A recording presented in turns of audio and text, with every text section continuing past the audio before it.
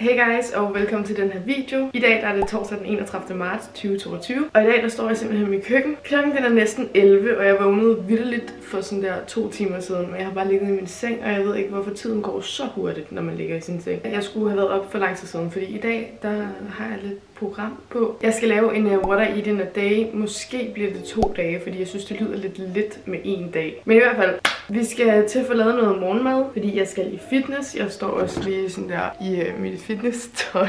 Men vi skal til at lave noget morgenmad, og jeg vil sygt gerne lave sådan en der Egg McMuffin, hvis I ved, hvad det er. Jeg har faktisk aldrig selv fået en, men ved, man ved bare lidt, hvad det er. Det er de der morgenmads på McDonald's. Men jeg vågnede bare og havde slet ikke lyst til det. Altså sådan, jeg var sådan helt men noget, som jeg så gerne vil, det er, at jeg vil gerne lave ud af de her shearboller. Det er også det, jeg laver de der McMuffins i.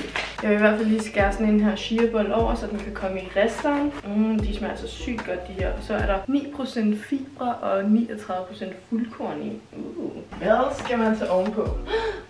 Gud, jeg glemte, at jeg købte pålægtschokolade. Ej, jeg får aldrig pålægtschokolade længere, så når man har det, må man altså godt spise det. Mums, det er også det, jeg har lyst til i dag. Så det er godt, og man skal bare spise, hvad man har lyst til. Jeg drikker også lige altid en masse vand. Åh, oh, det er koldt. Jeg har altid sådan nogle her stående inde i mit køleskab, fordi så fylder jeg dem bare op, og så er de mega nemme, bare lige sådan en grab and go. Men jeg har fået lavet min mormor. Jeg har allerede spist en halv. Det her, det var altså lige, hvad jeg havde lyst til i dag. Det er ikke det allersundeste, men fuck det. Alt med balance. Men nu vil jeg lige spise min mad. Mm.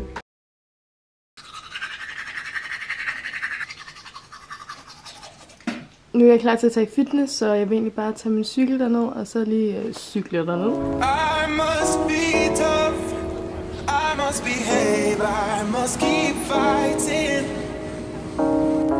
Don't give it up, I want to keep us compromising. Open your arms and pray to the truth that you're denying.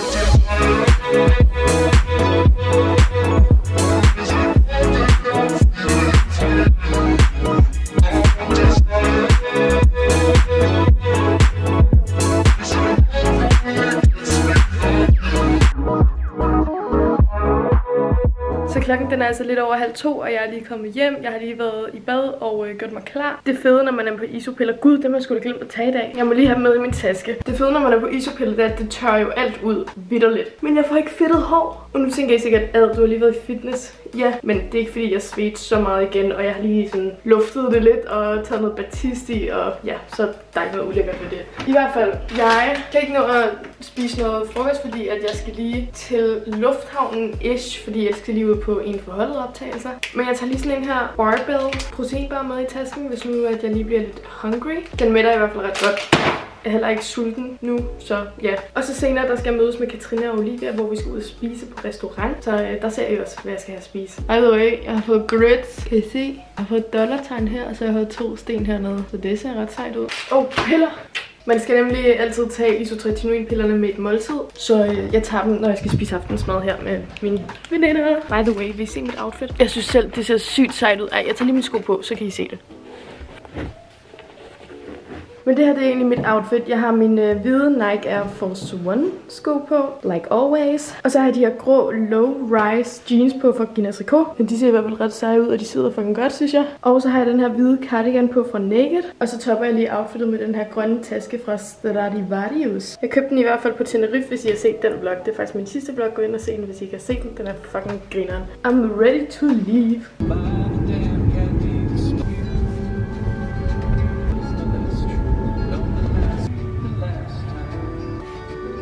Hvad skal du lave? Vi filmer stadig sæson 3 af en forholdet. Nu er vi i den her hal.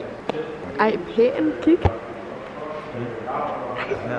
ja, i den her hal, hvor vi filmer fodboldscenerne. Og det, der foregår lige nu, det er... Det må jeg ikke sige, jo. Nej, må jeg lige se. Chris. Og DM, så vinder man en pokal. Den der derovre. Danmarks mesterskabets pokal. Jeg ikke vlogge lidt? Det er Lars fødselsdag. Jamen, jeg... Jeg Lars fødselsdag. Tillykke med fødselsdagen. Tak. Alle, der ser den her video, gå ned i kommentarerne og skriv tillykke med fødselsdagen. Alarm. Rudi, han er dommer i dagens anledning. Og Nana, hun er rigtig træt. Det er synd. Ja, vi møder klokken 6 om morgenen, så... Ja, undskyld. Jeg går på sæt igen. Vil du ikke tage kameraet?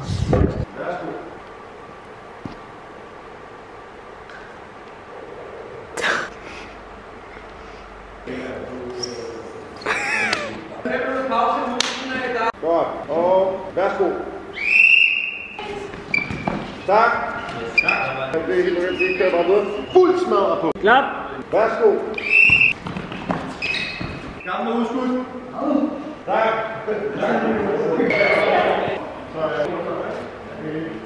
En banan. Har vi fundet vores keramik igen? Nej. Nu er vi her igen. Ja, Ej, flot skud. Og det gør faktisk virkelig ondt. Au, au, au. Ej. Jeg var inde og lave keramik her i vinterferien, så øh, nu er det færdigt, så vi er klar til afhentning. Og jeg lavede også nogle ting. Jeg lavede to uler. Prøv at se, hvor nice de er blevet. Så fandt jeg sgu mine ting. Må jeg se jer? Min smykkeskål, og det her det er min kop, som jeg troede ville lidt pænere. Men nej. Min skål, ja. Yes, det kan jeg lige så godt smide. Hvor er de søde. Det er sjovt, at min mor og min moster lavede også præcis sådan en her ule, da de var små. Og den er hjemme hos min mormor, så jeg tænkte mig at give den her til min mormor. Og den her giver jeg til min mor. Gaver. Så har vi lige sat os ind på Cantina, fordi vi skulle som sagt ud og spise. Og det er sådan et italiensk sted, hvor man kan få lidt forskelligt, så øh, vi skal lige finde ud af, hvad vi er til. Så vi har lige bestilt nogle oliven her. Jeg skal lave en what I eat in a day. Ja, og nu kan jeg jo sige, at jeg også har fået en Coca-Cola. Det er jo ikke noget, du spiser. What I drink in a Det de day. sagde, de gerne ville se. Ja, det ville de gerne. Jeg spurgte på Insta, og de sagde, what I eat in a day. Så tænkte jeg, hmm. En dansk cola er bare noget andet. Det her bliver jo ikke en Tenerife cola. Det her er ikke ligesom til. Skal vi fortælle om vores traumatiske oplevelse, vi havde tidligere? Nej, det kan I godt. Så lave storytime. Nå ja, for der spiser vi jo også. Ja, så kan I fortælle, hvad jeg fik. Det var også what I eat. Okay, så mig og Bangsted, vi mødtes lige på Ingenhav Plads, øh, der hvor vi skulle hen og hente vores keramik. Og så sidder jeg, jeg kommer lige først. Og så finder jeg sådan en hyggelig café, og så køber jeg lige en bolle. Okay, så what I eat in a day. Jeg købte også en. Nå, men så sidder jeg der alene, skal lige siges. Og så kommer der sådan to unge drenge gående. Jeg tror ikke, de er mere end 13 år. Og så sådan, får jeg øjenkontakt med dem, og jeg kan godt se, at de er ude på et eller andet med jer, som kigger ned i en bolle og sådan der, gå væk. Så fandme om, når de kommer forbi, så har han den ene, han poster ud over min bolle. Sådan meget tydelig og meget provokerende. Altså, han, hans hoved ligger nærmest nede i bolden. Han var sådan, Ja. Han spytter. Og jeg kommer ud af døren og ser det sådan lidt på afstand. Og jeg har selv lige købt en bolle. Så ser han, at jeg står og bliver sådan lidt chokeret over det, han har gjort. Så siger han til mig, ja, jeg kom lige til at spytte i din venindes mad. Og så spytter han i min. Altså det er Går han hen til og spytter i din? forbi og spytter i min. Det så er- sådan, at ulækker. simpelthen det sygeste, jeg nogensinde har prøvet, et andet menneske har gjort. Ja, og så går de ind, og så står de bare og banker på ruden, og jeg ved ikke hvad ud til os, og så flyner hun lidt. Ja, jeg gik lidt amok, fordi så jeg synes bare, det er så sygt Det er bare dårlig altså. opdragelse. Hvem går Hvis I og ser den her, ikke? Nej, nej. Det der, når man er vikar. Ja, jeg er vant til at skælde børn ud, så Fuck af med jer, Mario. Det er sådan mig og Olivia, vi er. Hun er sådan meget pædagogisk, meget stille og rolig, og jeg er lidt mere sådan, Ja, Så kom. men så kommer de ud igen, og så kommer de hen. Vi vil bare lige sige undskyld og øh, give jer en krammer, og så er vi sådan, I skal ikke give os en krammer. der er der. De blev skældt ud, og det fik, hvad de fortjente. Ja, det fik jeg svært streg. Sådan det. Man skal ikke hoste i vores mad. Slut. Man er jo ikke helt rask. Så det var dagens traumatiske hændelse. Det sker. Det var lige en lille storytime. Så jeg har bestilt en god gammeldags margarita pizza. Altså prøv lige at se, hvor frøderen den ser ud. Mums. Og øh, Katrina og Olivia har bestilt den der Bianco kartoffelpizza, som de faktisk altid gør. Så det her det er, hvad de spiser, og det her det er, hvad jeg spiser.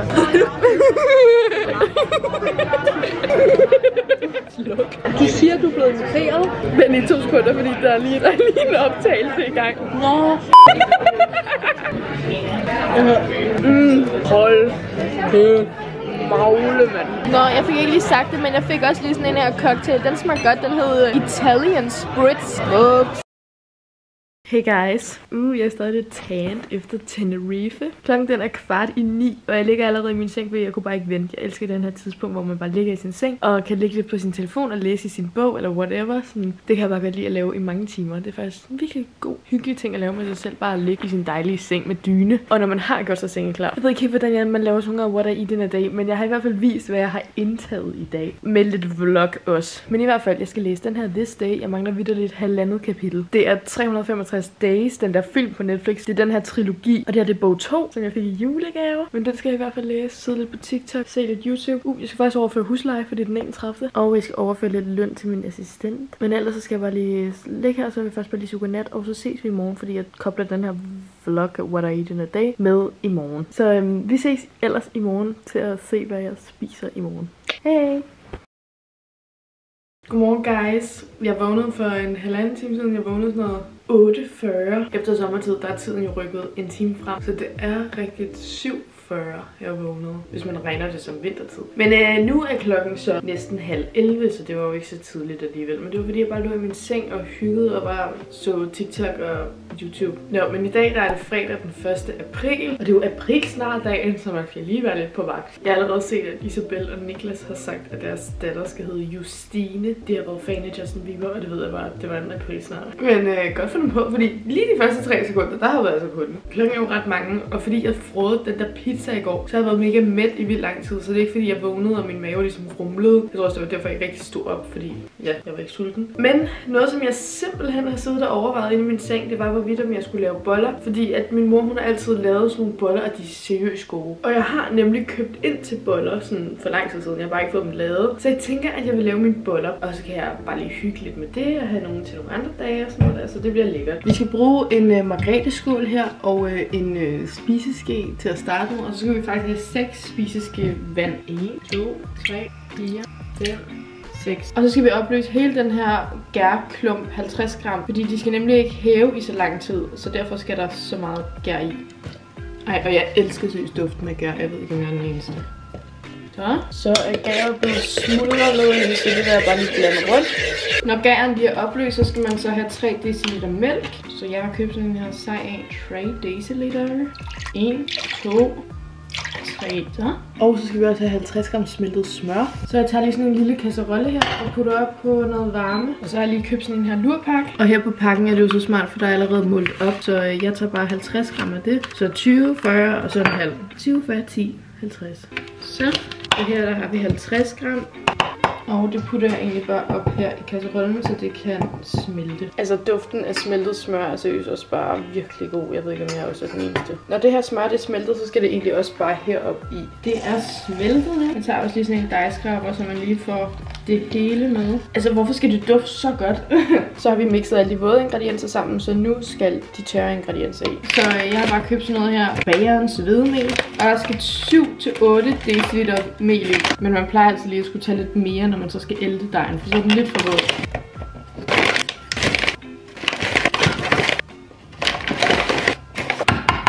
Så har jeg taget 8 dl mel i, og så skal der faktisk også lidt sukker i. Der skal 3 spiseskefulde. Og til sidst, der skal der lige lidt salt i. Og så skal det faktisk bare ælte, så jeg starter med lige at røre det rundt med sådan en her dejskraber. Og bagefter tager jeg det ud på bordet. Det er der, man skal have sådan en dejmaskine, det har jeg så ikke lige. Så jeg må gøre det på den gammeldags måde. Og så skal jeg ellers bare i gang med at ælte.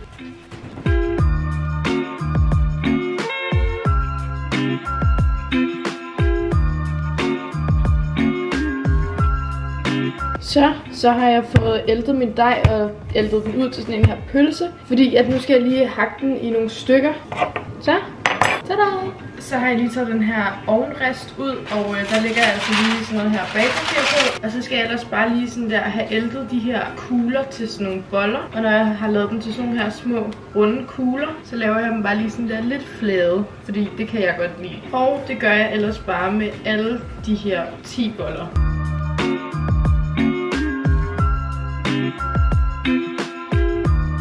Så har jeg formet de her 10 boller, og de bliver altså ikke lige øh, de kønneste, men øh, nu skal jeg det egentlig bare hæve, som de er her. Så jeg putter lige et lunkent viskestykke henover, fordi det står der sådan her i opskriften, at man skal. Så jeg vil bare lige tage lidt vand på et viskestykke, lige vride det lidt, og så øh, lægge det over, så de kan hæve. Og de skal kun hæve i cirka 25 minutter, så det er mega lækkert. Jeg kan lige nå at rydde lidt op imens.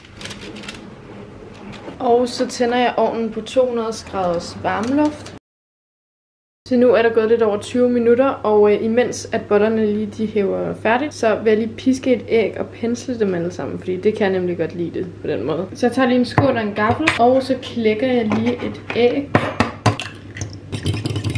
Så, så når jeg har pisket det, så er de faktisk færdige med at hæve, så nu tager jeg lige det her af. Lidt større er de der blevet. Så tager jeg lige sådan en pensel her, og så pensler jeg dem egentlig bare ovenpå. De giver dem sådan en flot glød inde i ovnen. Så, så skal de faktisk bare i ovnen. Så nu har jeg lige sat et ur på 8 minutter, og så vender jeg lige tilbage der og ser, hvordan de øh, har det.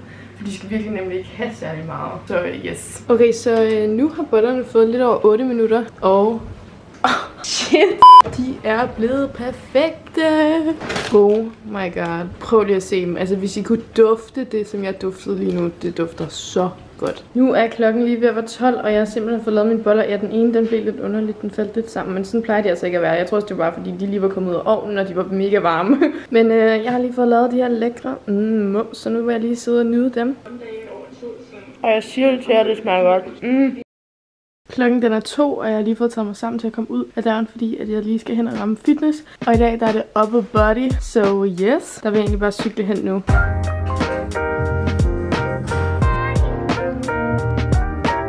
Er klokken kvart over fire. Overvej, hvor lys der er. Altså, det var der godt nok ikke for nogle måneder siden, hvor det var sådan der bælmørkt nu. Så det er dejligt. Kun to måneder til sommer nu. I hvert fald, det er jo en water i dag. Så jeg skal til at drikke den her Smoothie Plus fra Innocent, og jeg elsker Innocent. Jeg fik altid i folkeskolen de der små smoothier med i madpakke. Det smagte virkelig godt. Men det er sådan en her, man kan få i Netto, og jeg køber den bare nogle gange til sådan en lille luksus en. Den smager virkelig godt.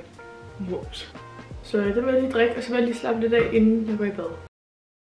Nu har jeg lige fået taget en masse billeder til min Thais og er i gang med at uploade dem, men klokken den er halv syv nu, altså 18.33 for at være præcis. Og jeg var begyndt at blive mega sulten, så jeg var nødt til at få noget mad nu, fordi jeg skal til at lave det, så det tager også lige lidt tid. Men i dag der vil jeg rigtig gerne lave en af mine bowls. Jeg elsker at lave sådan nogle risbowls, hvor der er ris i bunden, og så topper man det med noget lækkert. Jeg tror, jeg vil lave noget med noget, sådan noget svinekampfilet, fordi sådan en har jeg lige liggende. Man kan også bruge kylling, det plejer jeg også som regel at bruge, men sådan, nu har jeg lige det her, og så tænker jeg, mm, så vil jeg gerne bruge det svinekød.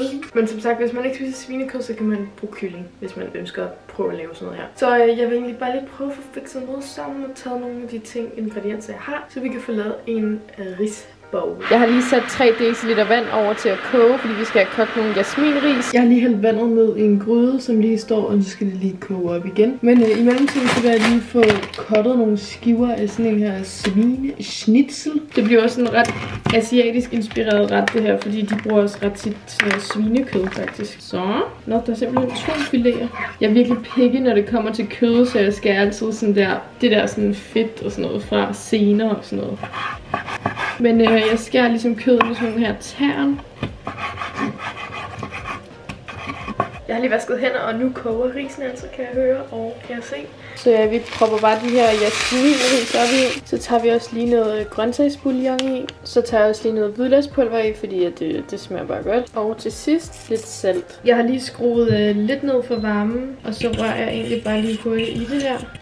Så putter jeg bare låg på, og så skal det egentlig bare koge i cirka 12 minutter, så jeg sætter lige en timer. Så, så øh, jeg har lige puttet mit svinekød ned i sådan her skål, fordi jeg skal lige marinere det lidt. Og her der freestyler jeg altså bare lidt mere. Jeg tager i hvert fald lidt soja i, gemmer lidt til risene. Så tager jeg noget teriyaki marinade i. Så tager jeg også lidt honning i, og så tager jeg også noget af det her all around krydderi i. Det ved jeg ikke, det bruger jeg bare faktisk sygt meget. Men øh, det smager sgu bare godt. Jeg ved ikke, hvordan det her bliver. Så tager vi også lige lidt salt i, og så har vi egentlig bare sådan en lille marinade her. Og så blender jeg det bare lige rundt. Så har jeg lige marineret det her kød, og så skal jeg faktisk bare lige have en pande. Jeg tager lige den her. Tænder lige for varmen. Så tager jeg bare lige noget olivenolie på. Så, så skal det egentlig bare stå og hygge sig og blive gennemstegt. Jeg har lige fundet sådan en her gulerod frem, fordi in the meantime, så skal vi lige rive noget gulerod. Fordi jeg elsker seriøst revet gulerod. Altså, jeg elsker det, og det smager sygt godt oven på sådan noget her. Så har jeg i hvert fald nok til min lille portion. Så har jeg også lige nogle koriander her, som jeg gerne vil have på. Jeg elsker koriander. Jeg synes, det seriøst, det smager sygt godt. Og så er der nogen, der bare hader det og siger, at det smager sæbe. Kan I egentlig godt lide koriander? I må gerne gå ned i kommentarfeltet og skrive det. Så kan vi se, hvor mange der er på team koriander, og hvor mange der er på team ad. Det smager sæbe. Jeg piller egentlig bare nogle af de her blade. Så de steger godt dem her, så jeg ser lige at forvente nogle af dem. Så. Og så skal jeg også lige den her lime, jeg har i nogle både. Jeg vil også rigtig gerne lige optage nogle edamame. Hvorfor hedder de her mukimame bønner? Nå, det er pillede edamame bønner. Nå.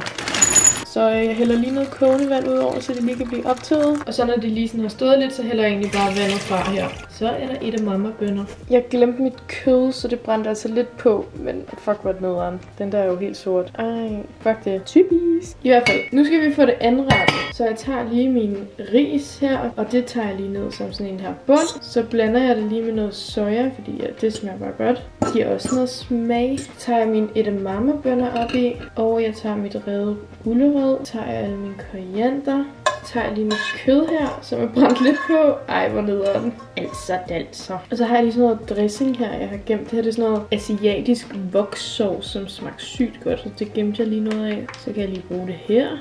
Og så har jeg også lige sådan en sød chili sauce, som jeg også lige sådan kan bruge. Ej, hvor ser det lækkert ud. Så tager jeg lige mine limes og squeezer det ud over her, fordi lime det smager bare godt. Så tager jeg lige nogle i siden, fordi det ser bare pænt ud. Voila. Voila.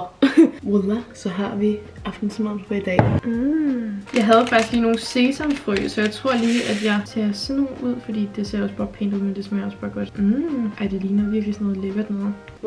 Ej, hvor ser det godt ud. Så her har vi the final ret, og jeg er så klar til at spise den her. Det ser virkelig godt ud. Jeg tror bare, jeg sætter mig herind. Nu vil jeg lige smage min ret her. Se, hvad jeg har fået kreeret.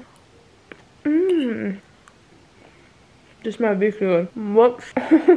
Tal wifi jeg er her. nu vil jeg bare lige sidde og se lidt fjernsyn. Det var altså en ret stor portion, og kunne helt spise det hele. Det er faktisk lidt dårligt til generelt bare at spise op. Det, er sådan, det gør jeg mig ikke rigtig i. Det skal man faktisk gøre. Min mave er allerede helt proppet. Nogle ekstra bidder. Mm. Nu kan jeg heller ikke mere. Godnat og tak.